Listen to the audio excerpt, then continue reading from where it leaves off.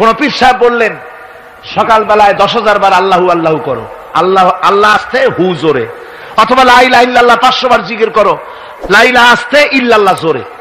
আর ইল্লাল্লাহ কোন কোন মুরিদরা তো এত জোরে করে তাতে কলব থাকলেও পারে, গেলেও পারে। আপনি ওই পীর সাহেবের কথা মতো এই জিকের করবেন। আপনাকে দেখতে হবে, রাসুল পাক সাল্লাম এইরকম জিকের করেছেন কিনা। ঠিক কিনা বল সাহাবাই কেরাম রেদওয়ানুল্লাহ তাআলা আলাইহিম আজমাইন, তারা এরকম জিকের করেছেন কিনা? যদি রসুল এরকম জিকের করে থাকেন, সাহাবাই কেরাম এরকম জিকের করে থাকেন, অবশ্যই সেই জিকির আমরা করব, ঠিক কিনা? অন্ধভাবে কাউকে গ্রহণ করব না। কেউ পাগড়ি বানলো, পেছনটা ছয় হাত লম্বা রাখল। আমার পীর সাহেব, সেই জন্য আমি বুঝি, আমিও ছয় হাতের জায়গায় বরকতের জন্য বারো হাত একেবারে লম্বা করে টানতে টানতে আসবে রাস্তার উপর, এরকম করব। না।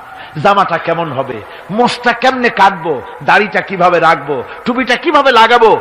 খানা কীভাবে খাব? তারপরে কীভাবে কি করব আর না করব? সবটার মানদণ্ড হচ্ছেন কে? ওসওয়ায় হাসানা। লাকাদ কান লাকুম ফি রাসূলিল্লাহি উসওয়াতুন হাসানা। গ্রহণযোগ্য একমাত্র মহত্তম আদর্শ হচ্ছে তোমাদের রসুল। তাকে দিয়ে গ্রহণ করতে হবে। পায়ের নখটা কেমনে কাটবে? মাথার চুলটা কেমনে কাটবে? আদর্শ হচ্ছেন মোহাম্মদ রসুল্লাহ সাল্লাহ সাল্লাম ওই রসুলের অনুসরণ অনুকরণ করে কোন পীর সাহেব, কোন মৌলানা সাহেব যদি বলে, তাহলে তাকে অনুসরণ করা যাবে। তবে মিলায় দেখতে হবে যে কথা ঠিক আছে কিনা। উনি যা বলছেন, উনি যা করছেন, ওইটা ঠিক আছে কিনা তাহলে তা না হলে ধোকায় পড়ে যেতে হবে। কি যে করতে হবে? ধোকায় পড়ে যেতে হবে। আজকাল তো নানান রকম বাইর হয়েছে বুঝলেন না? নামের আগে সৃষ্টি লাগায় দেয়। ওই যে ঢাকার কাছে এক জায়গায় একটা সদরদ্দি সৃষ্টি হইল। তারপরে তাকে উঠায় দেওয়ার জন্য কত সংগ্রাম হলো, কত মানুষ মরলো, আপনার পত্রিকা পড়েন নাই? সে বলেছে, রোজা না রাখলে চলবে। ইফতার আসরের সময় করলে হবে। আর রোজার দিন দুপুরের সময় সিরে টিরে খাইলে অসুবিধা নেই। বুঝলেন? যশোরে গেলাম, সেখানে শুনলাম সেই পাকিস্তান আমলে। এক পীর নাকি আসছিল, এসে বলে গেছে, ভাই, আসল পর্দা মনের পর্দা। এর থেকে বাইরের কোনো পর্দা না। লোক দেখা না পর্দারা করে লাভ কি? আসল পর্দা মনের পর্দা।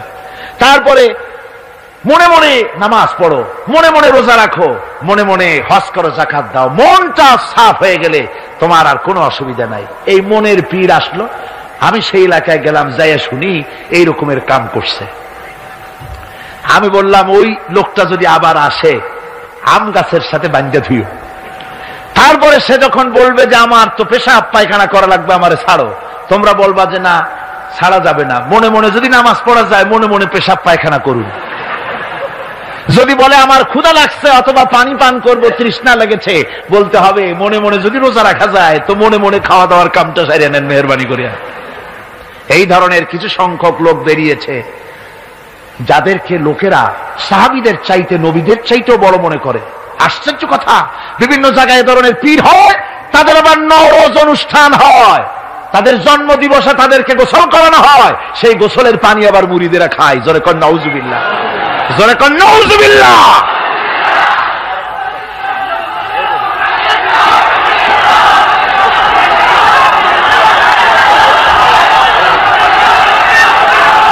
আমার ভাইয়েরা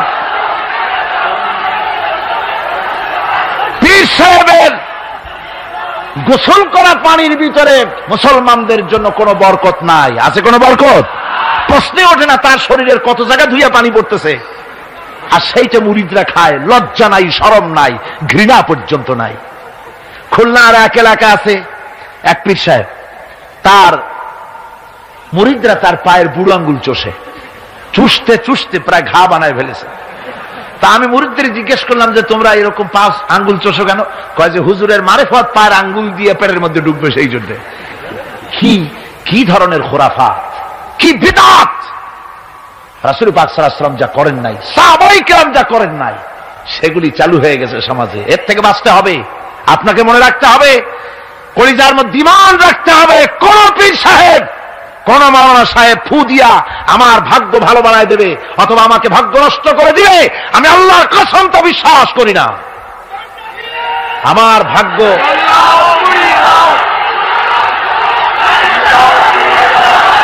আমার ভাগ্য, আমার তকদির ভালো বা খারাপ, এ সবটা হতে পারে আল্লাহর পক্ষ থেকে। কার পক্ষ থেকে? জোরে বলেন, কার পক্ষ থেকে? আল্লাহর পক্ষ থেকে হতে পারে। সুতরাং আজকে আমাদের দেশে বহুত নকল পেরিয়ে গেছে। পীর মুরিদি একসময় খুব ভালো ছিল, কিন্তু যে জিনিস যত ভালো, তার নকল বেরোয় তত তাড়াতাড়ি। তবে আলহামদুলিল্লাহ এখনও, আলহামদুলিল্লাহ কিছু হাক্কানি পীর এখনও আছে যারা সমাজের কাজ করেন, যারা ওইভাবে কদম বুসি নেওয়ার জন্য পা আগ বাড়ায় দেয় না। কথা বুঝতে পেরেছেন? মানুষকে সর্বনাশ করে না। বরং তাদের ইলম আছে। ইলমের দ্বারা মানুষের কাছে হেদায়তের কথা শোনায়। সমাজ গঠনমূলক কাজ করে। আল্লাহর কোরআন প্রচার করে। এ ধরনের লোক আছে। তবে এদের সংখ্যা কম। ঠিক কিনা কম এদের সংখ্যা কম। এরা বিভিন্ন জায়গায় মাজার তৈরি করেছে। মাজারাত তৈরি করেছে। একটা, দুইটা মাজার না। বহুত মাজার। গাড়ি, বাস সব থামায় থামাইয়া তারপরে তাদের কাছ থেকে, মানুষের কাছ থেকে পয়সা কালেকশন করা হয়। ঠিক কিনা? এই যে পয়সা কালেকশন করা হলো, আমি জিজ্ঞেস করি, এই টাকাগুলো যে কালেকশন করা হলো দেওয়া হলো, এই টাকা দিয়ে কবরে যে শো আছে, ওই টাকা দিয়ে তিনি কি কোনো ফায়দা পান? টাকা দরকার কার? জীবিত মানুষের না মরা মানুষের? তো কমন সেন্স নাই কেন মুসলমানের? যিনি ইন্তকাল করেছেন, মাটির মধ্যে শুয়ে আছেন, তারে টাকা দেই কেন? উনি কি এই কমলার সিজনে কমলা কিনে খাবেন? তো টাকাটা কেন দেওয়া হয়? এই আপনার টাকা দিয়া এই মাজারকে যারা পাহারা দেয়, তারা অনেক বড় লোক হয়ে গেছে। ঠিক কিনা আবার অনেক মাজার আছে, যে মাজারে কেডা শোয়া, তা মাজারের পাহারাদারও জানেন এরকম আমি নিজেও দেখেছি। জিজ্ঞেস করেছি যে কবর কার? তা তো জানি না। একজন আল্লাহর মাহবুব বান্দা শুয়ে আছে এখানে। কে সেই মাহবুব বান্দা? নাম টাম জানি না। স্বপ্নের মধ্যে দেখলাম আল্লাহর এক অলির কবর এখানে, সেই জন্য গম্বুজ বানাই দিছি।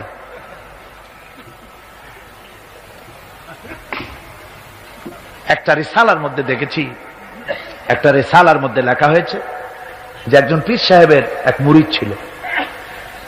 তো পীর সাহেবের বাড়িতে এক মাজার আছে, সেই মাজারকে কেন্দ্র করে প্রতি বছর ওরস হয়। মুরিদ, সে গরিব মানুষ ব্যবসা বাণিজ্য করে খায়। তারপরে সে, তার একটা গাধা ছিল সে গাধার উপরে সওয়ার হয়ে বাজার ঘাট করতো, মালপত্র আনা নেওয়া করে, ওই দিয়ে তার জীবিকা নির্বাহ হতো। একদিন তার গাধাটা মারা গেল। সেই রেসালার মধ্যে লেখা হয়েছে যে, লোকটা তখন গাধা মরেছে, এর আর কিচ্ছু নাই, জমি জমাও নাই। খাবে কি করে? খুব দুঃখ পেল মনে।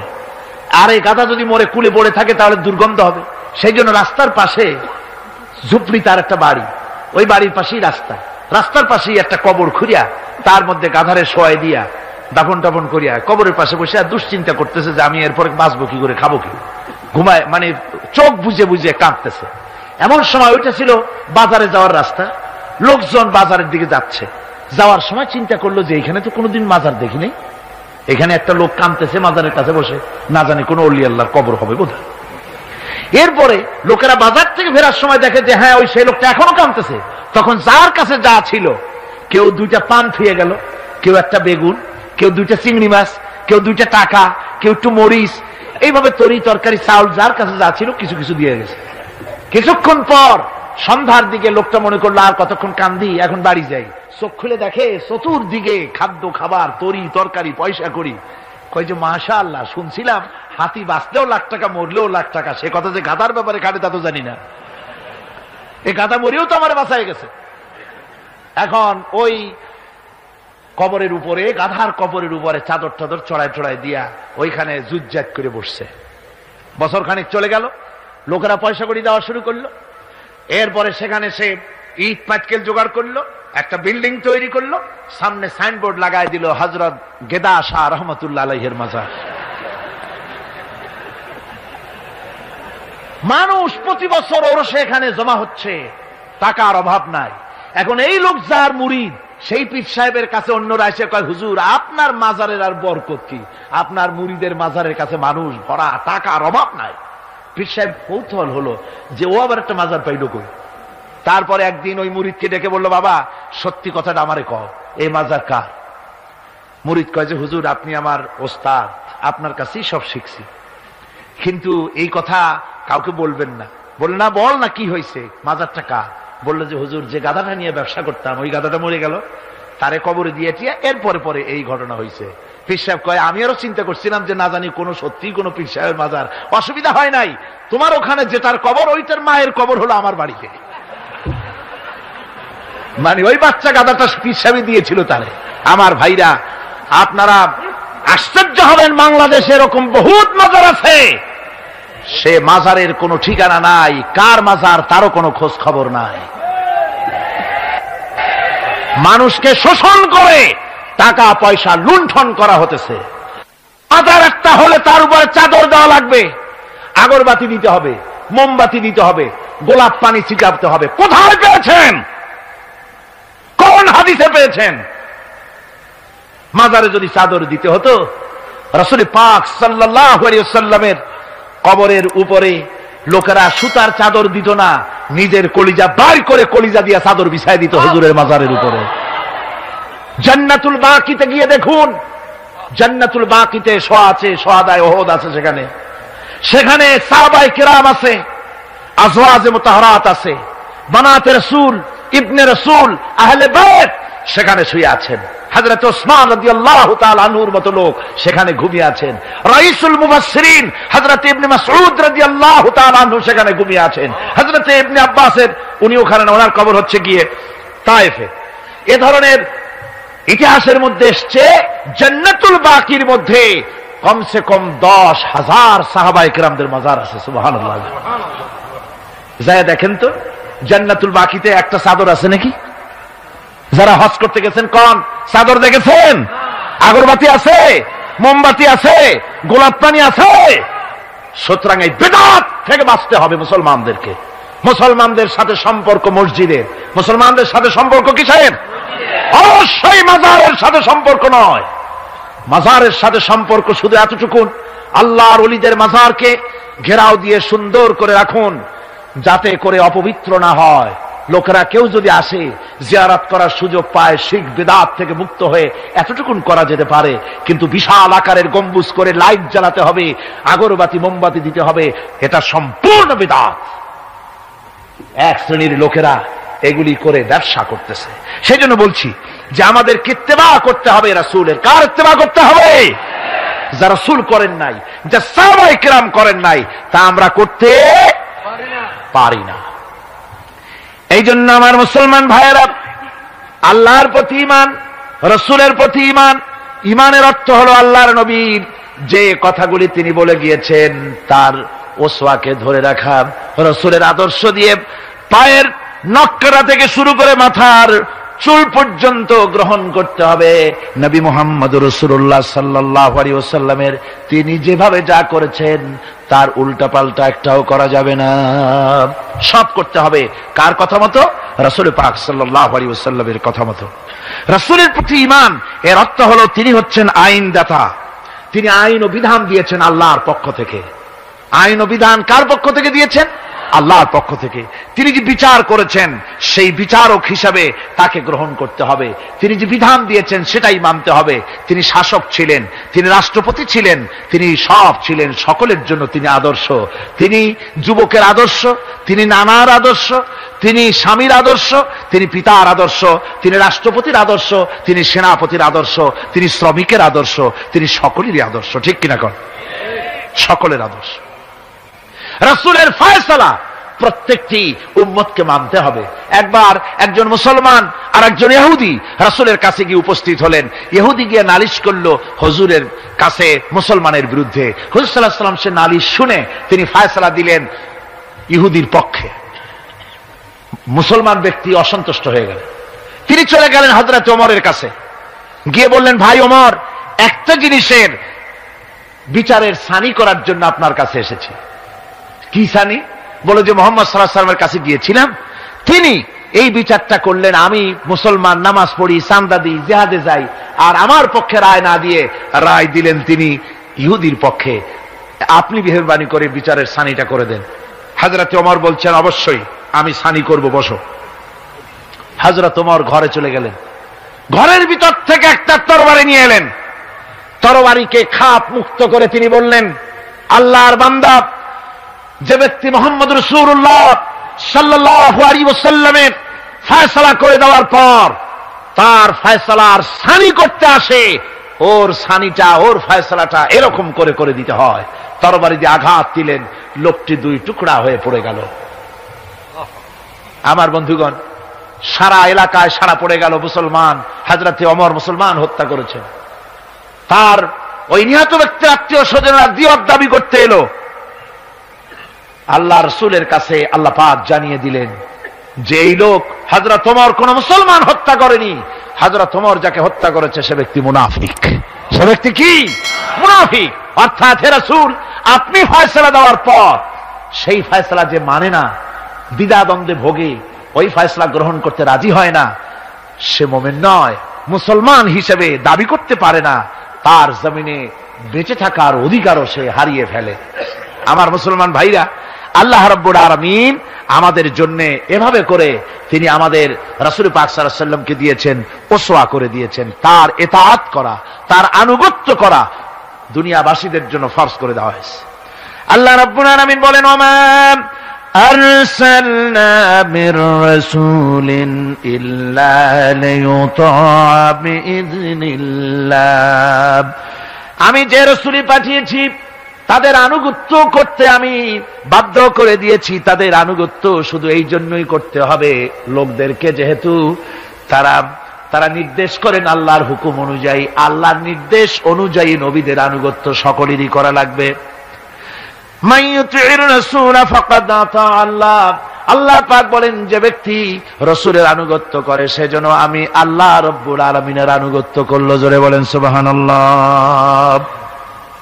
এরপরে আল্লাহ রব্বুল আলমিন বলেছেন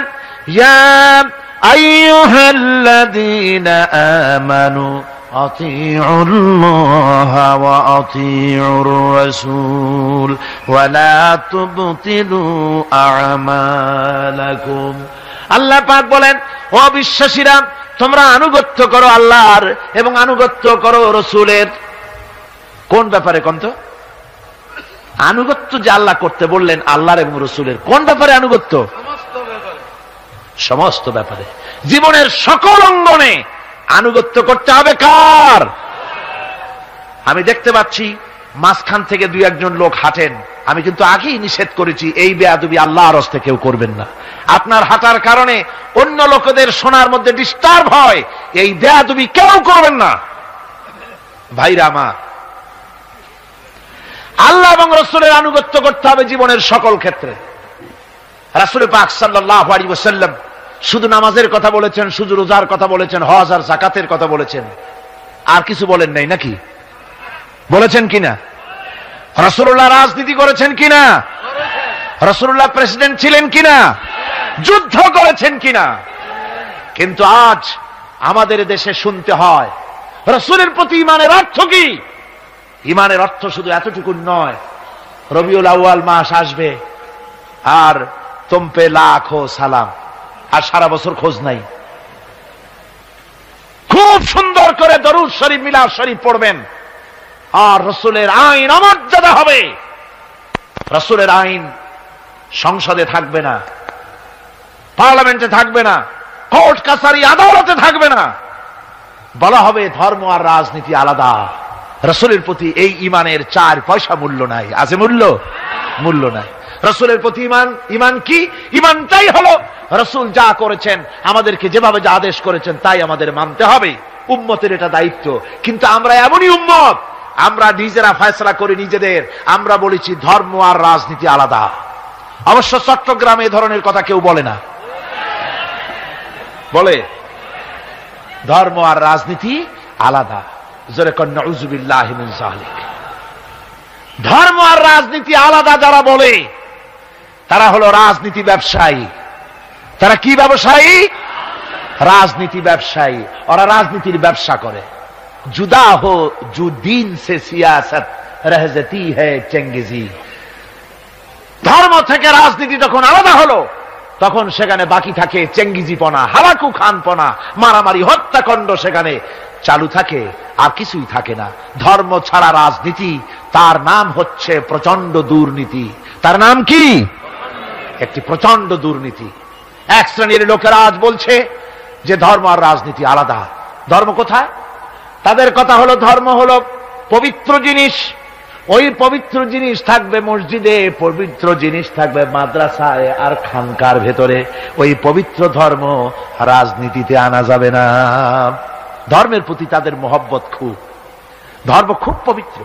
আল্লাহকে যেন বলা হচ্ছে আল্লাহ আর হে রাসূল, তোমরা দুজনা মসজিদ আর মাদ্রাসায় থাকো। আমাদের জীবনের বিস্তীর্ণ অঙ্গনে তোমাদের প্রতি হান্ড্রেড ফোর বিরানব্বইয়ের ক ধারা, একশো চুয়াল্লিশ ধারা জারি করে দিলাম। আমাদের জীবনের বিস্তীর্ণ অঙ্গনে তোমরা আইসো না।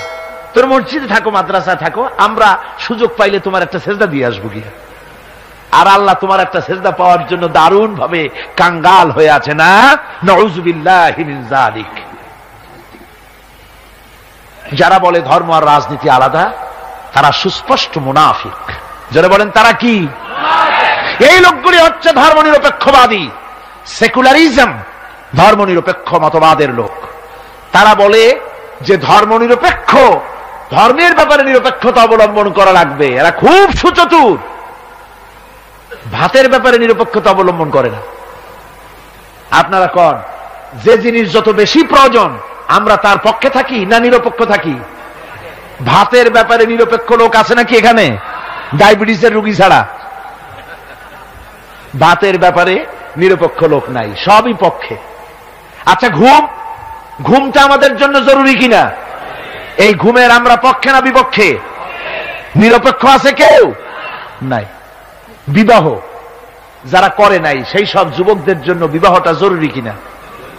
এই জরুরি বিষয়ের প্রতি যুবকদের কি মত? এ ব্যাপারে কি নিরপেক্ষ না পক্ষে? খুব জোরেই বলেছে পক্ষে। তাহলে বোঝা গেল যে জিনিস যত বেশি জরুরি, আমরা সেইটার পক্ষে। আর যেটা জরুরত নাই, আমরা সেটা পক্ষে নাই। তাহলে ধর্ম কি এতই অজরুরি বিষয় যে এইটার ব্যাপারেই আমরা শুধু নিরপেক্ষ হয়ে থাকব? নজুবিল্লাহ জালিক ধর্মের ব্যাপারে নিরপেক্ষতা অবলম্বনকারী একটা রাজনৈতিক দল আমাদের দেশে কাজ করতেছে। ঠিক কিনা? ধর্ম নিরপেক্ষ মতবাদের সপক্ষে তারা কোরআনে কারিমের আয়াত বলে তারা বলে মৌলবি সাহেবরা কি বোখারি পড়ে নাই? বোখারির মধ্যে আছে, লাকুম দিন হুকুম বলিয়া দিন। আর অনুসারীরা তখন চিন্তা করে বাপরে আমাদের নেতি খান, বোখারিও পড়ে। আজিব তামাশা। দিন। এর মধ্যে ধর্ম নিরপেক্ষতার গন্ধ নাই। সুরাটির নাম হচ্ছে সুরায় কাফিরুন। সুরাটির নাম কি? কাফেরেরা বলেছিল হে মোহাম্মদ সাল্লাহ ওসাল্লাম ধর্মের ব্যাপারে আমাদের ভিতরে বড় ঝগড়াঝাটি প্রায় লেগে থাকে। সুতরাং ধর্ম নিয়ে বাড়াবাড়ি না করে আসো, আমরা এক কাজ করি। তোমরা কিছুদিন আমাদের প্রতিমাগুলির সামনে এসে একটু পূজা দিয়ে যাও, আর আমরাও কয়েকদিন তোমাদের মসজিদে গিয়ে আল্লাহরে সেজদা দিয়ে আসব। এইভাবে আমরা ধর্মকে ফিফটি ফিফটি ভাগাভাগি করে নেই। কাফেরেরা তোমরা যার এবাদত করো, আমরা তার এবাদত করি না। আবার আমরা যার এবাদত করি, তোমরা তার এবাদত করো না। সুতরাং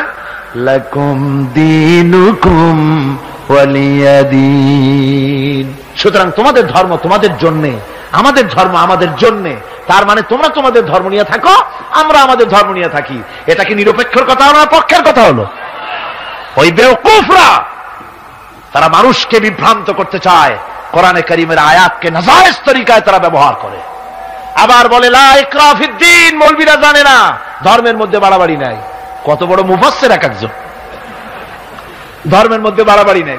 লাফিদ্দিন ধর্মে বাড়াবাড়ি এটা কিসের কথা? এ কথাটা হচ্ছে, মুসলমানদেরকে বলা হচ্ছে, অমুসলিমদেরকে বাধ্যতামূলক ভাবে ভয় দেখিয়ে, প্রবণ দেখিয়ে ত্রাস সৃষ্টি করে কোন ক্রমে তাদেরকে মুসলমান বানানো যাবে না। ইচ্ছে করে যদি কেউ আসে ইসলামের সৌন্দর্য মুগ্ধ হয়ে মোস্ট ওয়েলকাম তাকে গ্রহণ করো। বাড়াবাড়ি করা যাবে না, ভয় দেখানো যাবে না, লোভ দেখানো যাবে না। এটা হলো লায়ক রাফিদ্দিন আর এই বেউকুফরা এই আয়াতকেও নিয়েছে তাদের ধর্ম নিরপেক্ষতার ক্ষেত্রে। আমি জিজ্ঞেস করতে চাই, সেকুলারিজমের, সেকুলারিজম দিয়ে যাদের মন মস্তিষ্ক ভরপুর, সেসব ভাইদেরকে জিজ্ঞেস করি, বিবেক দিয়ে চিন্তা করুন। ধর্ম নিরপেক্ষ আপনি কেন হবেন? দুনিয়ার কোন পয়গম্বর কি ধর্মের ব্যাপারে নিরপেক্ষ ছিলেন? আপনি যার উম্মত, আমরা যার উম্মত। বিশ্বনবী, তিনি কি ধর্মের ব্যাপারে নিরপেক্ষ ছিলেন?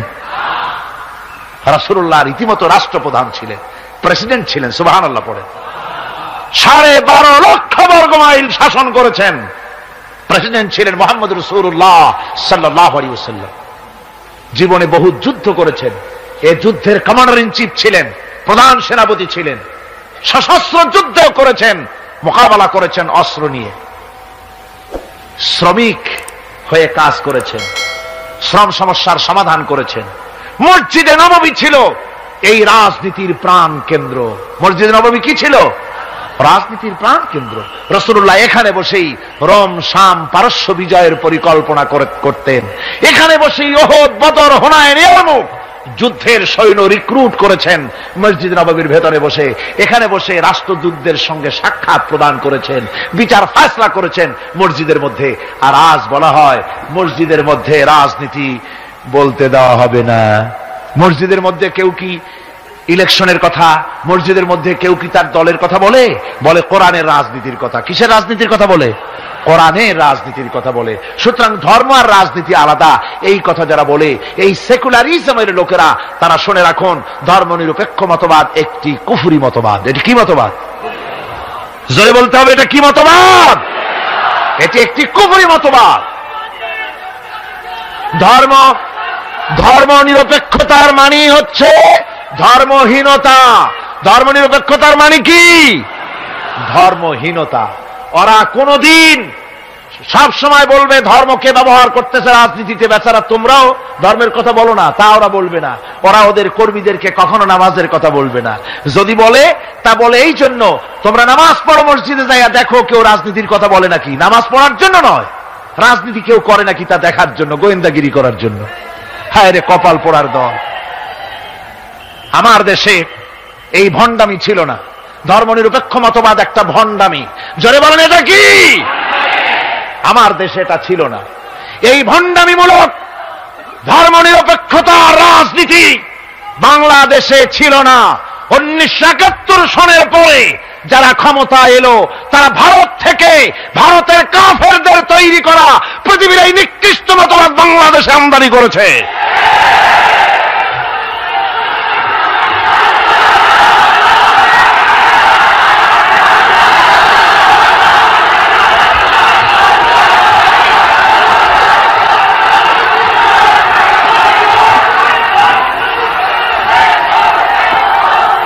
আমার মুসলমান ভাইয়েরা,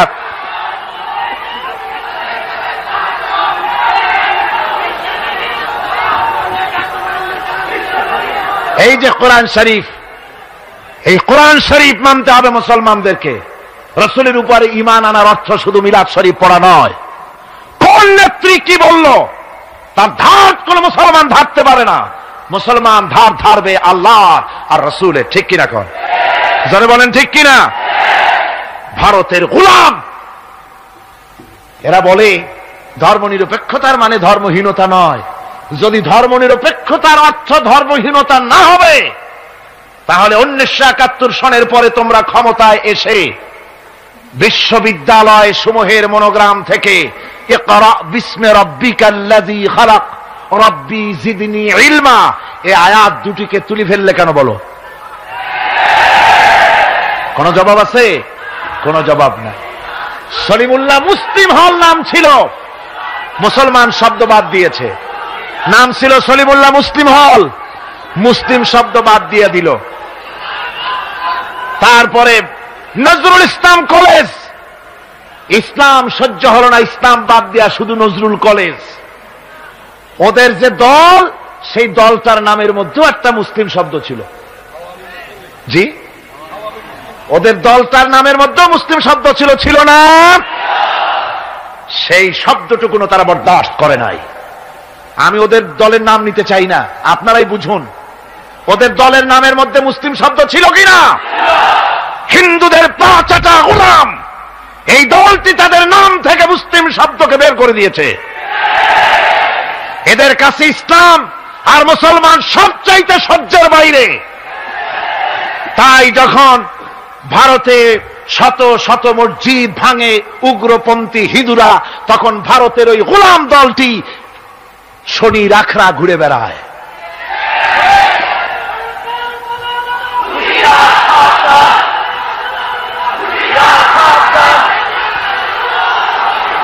আমার মুসলমান ভাইদের খেদমতে আমি আরজ করতে চাই।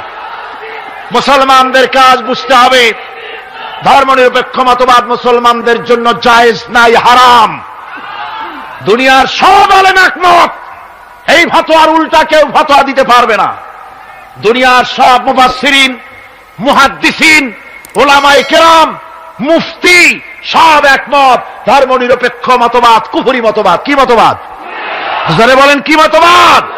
কোন মুসলমানের সন্তান যাকে মুসলমানের জন্ম দিয়েছে ধর্ম নিরপেক্ষবাদের আন্দোলন করতে পারে না, হারাম হারাম।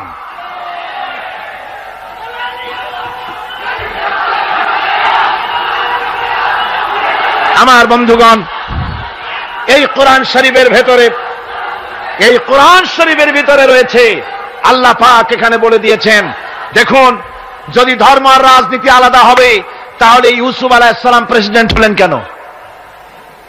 সুরা ইউসুফ আছে না কোরআন শরীফে? হাজরত ইউসুফ আলাহিসাল্লাম জেলে গেছিলেন। দীর্ঘদিন জেলে ছিলেন। জেল থেকে বেরিয়ে এসে মিশরের অর্থ এবং খাদ্য দুটি মন্ত্রণালয়ের দায়িত্বশীল মন্ত্রী হয়েছিলেন আছে কোরআন শরীফে। গোটা মিশরের প্রেসিডেন্ট হয়েছিলেন আছে কোরআনে। সুলাইমান আলাহাম গোটা পৃথিবীর প্রেসিডেন্ট ছিলেন আছে কোরআনে। মোহাম্মদ সাল্লাহাম প্রেসিডেন্ট ছিলেন আছে কোরআনে। সর্বত্র পেগম্বরেরা রাজনীতি করেছেন। এই দুশ্চরিত্র লোকগুলি ভারতের গোলামেরা। তাদের কথা হলো আলেম ওলামারা রাজনীতি করবে না। ধর্মীয় মাহফিলে রাজনীতি হবে না। বাংলাদেশ তোমার বাপের সম্পত্তি। এমন ভাবে কথা বলে, বাংলাদেশে ধর্ম নিয়ে রাজনীতি করতে দেওয়া হবে না। মনে হয় যেন বাপ, এই বাংলাদেশ ওর বাপের সম্পত্তি আর আমরা ঘর জমাই থাকি।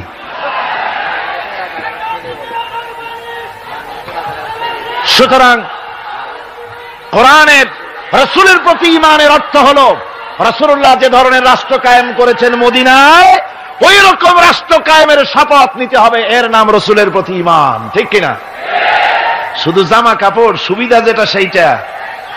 সুবিধাবাদ, জিন্দাবাদ। রসুল্লাহর সুন্নত দুই রকম। সুন্নত কয় রকম? এক শ্রেণি, এক ধরনের সুন্নত আমল করা সহজ। আর এক শ্রেণির সুন্নত আমল করা কঠিন। ঠিক কিনা?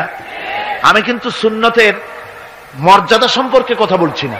আমি বলছি, আমলের ব্যাপারে ধরনটা এক শ্রেণি রসুলের কোন সুন্নতের কদর কিন্তু কম নয়। আকাশ আর জমিন বিক্রি করলেও রসুলের একটা সুন্নতের সমান মর্যাদা হবে না। রসুলের সুন্নত পালনের মধ্যে দুই ধরনের। একটা সুন্নত হচ্ছে পালন করা খুব সহজ আর একটা পালন করা কঠিন। সহজ সুন্নত হলো চোখে সুরমা লাগানো।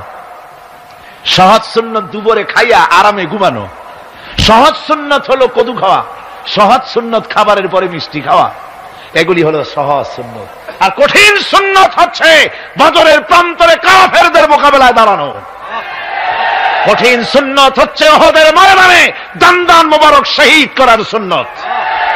কঠিন সুন্নত হচ্ছে বাতিলের বিরুদ্ধে মানুষের তৈরি করা মতবাদকে উৎখাত করে আল্লাহর জমিনে আল্লাহর দিন কায়েম করার সুন্নত।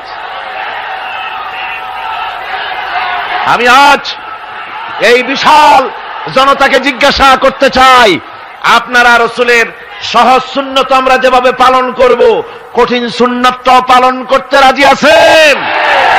তাহলে বাংলাদেশের বুকে ধর্ম নিরপেক্ষতার মুখে লাথি বেড়ে কোরআনের রস কায়েম করতে রাজি আছেন? দুহাত উঁচু করে দেখান। আলহামদুলিল্লাহ আলহামদুলিল্লাহ।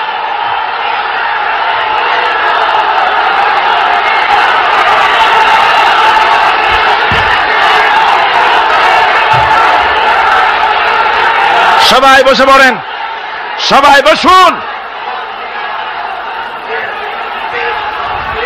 বসুন না। সবাই বসে পড়ুন আমি বুঝতে পারছি অবস্থাটা। বিষয়টা বুঝতে পারছি। এক বুড়ি রাস্তা দিয়ে দেওয়ার সময় আচার খাইল। খাইয়া কয় যে আচার যখন খাইলাম, একটু পান খায়নি তো স্লোগানের যখন জোর উঠছে একটু দাঁড়ায় মাথা সোজা করে নি অবস্থা তাই হয়েছে। খারাপ হয়নি, ভালোই হয়েছে, আলহামদুলিল্লাহ। আজকে তিনজন মুসলমান হবে।